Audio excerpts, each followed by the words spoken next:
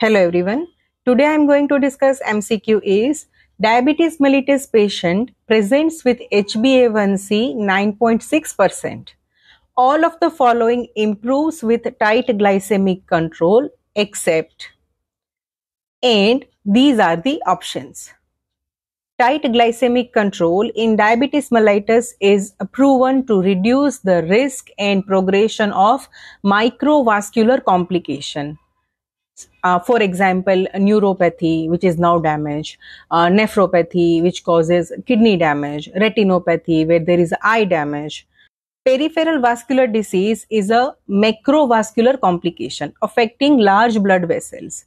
So uh, the main determinant of uh, peripheral vascular disease are atherosclerosis, hypertension, dyslipidemia and smoking. It is not just hyperglycemia. So tight blood sugar control has a limited effect on peripheral vascular disease.